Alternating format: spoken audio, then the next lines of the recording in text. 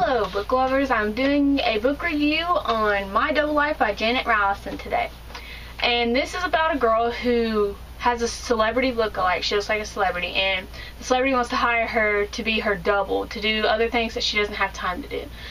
And the girl from, I think she's, I don't know, from a poor side of town I guess you could say. And she goes to be the celebrity look-alike and then she changes completely. She's like this new girl. She's completely different, and her grandma told her specifically, do not change when you go there. She falls in love with this another celebrity. He thinks it is the real celebrity, but it's actually the double. And at the end, she not getting away any spoilers. Don't worry. At the end, she has to make a hard decision, and when she does, you will be heartbroken. I guess you could say. But the end of the book is really great because it turns around and gives you what you really want, a happy ending. So I really enjoyed this book. I know I say that for every book I read, but it's actually pretty good. Um, I recommend it. It's a short book. It's easy to read.